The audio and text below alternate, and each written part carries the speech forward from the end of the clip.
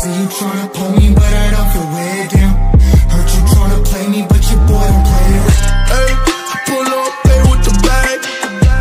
Всем привет, друзья! Сегодня раскроем один из секретов, э, лайфхак или стратегия, как хотите называйте.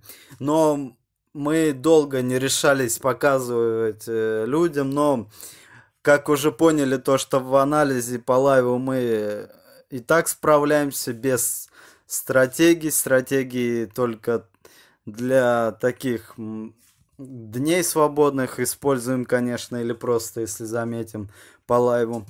Так вот, давайте перейдем к стратегии. Я надеюсь, вы поддержите это видео лайками, комментариями. И выйдет еще одна очень интересная стратегия, которую мы тоже не показывали. Может быть, даже лучше этой. Так вот, суть стратегии. Нам нужно после первого тайма, э, давайте за вчерашний день покажу, на что я ставил по этой стратегии.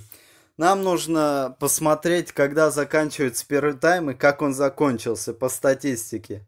Так, у меня есть здесь выделенный матч. Вчера всего поставил на два матча таких. Да, редкие игры с таким результатом. Ставки будут не столь частые, но э, на дистанции дает хороший плюс. Значит, вот, был матч Бохом и Гройтер Фюрт. По статистике, первый тайм. Нам нужно, чтобы первый тайм закончился по ударам 5 и ударом в створ тоже 5 и более. То есть э, все удары должны быть в створ от 5 именно. Например, 5, 5, 6, 6, 7, 7. От 5 и выше 4, 4 нам уже не подойдет. Так вот, 5, 5 и угловых 3. Это нам подходит 3 и более. Так, вот, видим. И будем ставить на второй тайм то, что Бохум забьет. И видим на 52 минуте они, правда, забивают. Ставил я не так уж много, коэффициент был ну, в районе 1,47. Еще был матч, э, сейчас вам покажу. Вот, да, в Норвегии. Смотрим статистику, первый тайм. По ударам 5 и в створ 5. Угловых 4. Нам игра это подходит идеально. И видим то, что во втором тайме они забивают 4, 63 минуты. Здесь поймал коэффициент 1.50 э, с мелочью. Тоже ставка успешно зашла. Еще я ставил матч, потому что смотрел. Э, это был ЦСКА Зенитом играли.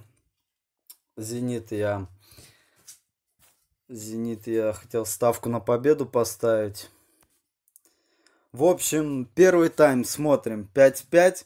Но здесь видим то, что угловые один.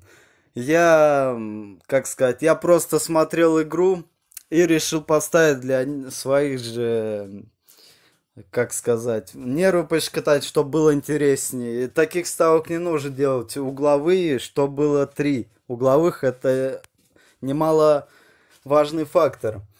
Видим то, что все-таки Дриуси забил с пенальти, но на 95-й минуте мы видим риск, то что именно это, я не знаю, как магия чисел какая-то. И если угловых 2, тоже иногда стра- э, ставка не заходила.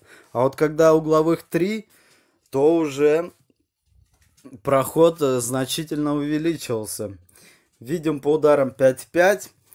Так, давайте повторим. Нужно, чтобы ударов было 5 и в створ ударов 5.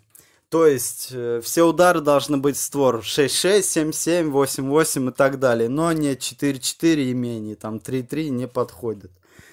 Такая вот стратегия.